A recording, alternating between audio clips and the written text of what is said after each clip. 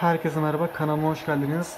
Özellikle cam tablo kullanan 3D printer kullanıcıları için kimya mühendisi arkadaşımla beraber özel tablo temizleme sıvısı ve aynı zamanda özel tablo e, yapıştırma sıvısını yaptık. Bunun daha önceden videolarını paylaştım.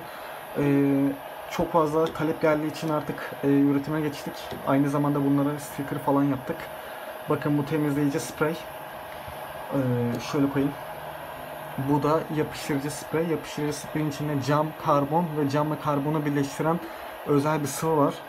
Ee, bu sıvıdan herkes çok memnun kaldı.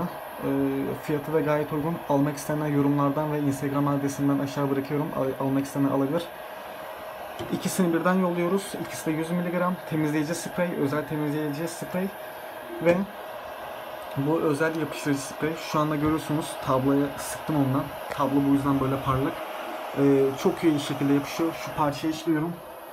Soğuduğu zaman da kendisi otomatik olarak çıkıyor.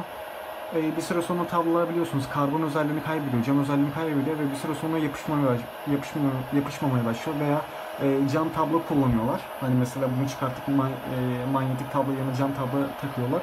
O zamanlara o sorun oluyor. Özel e, temizleyici sprey ile temizledikten sonra e, tablo sıcakken bu spreyi sıkıyoruz.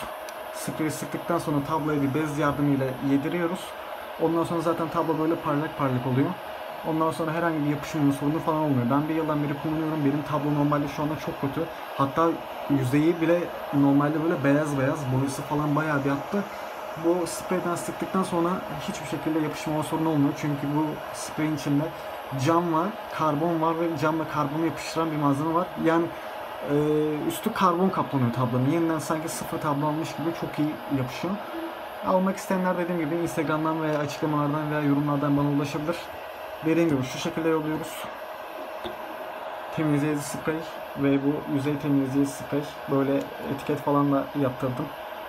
Şu şekilde e, ürünü yolluyorum. Biraz da artık profesyonel şekilde profesyonel hale getirdik.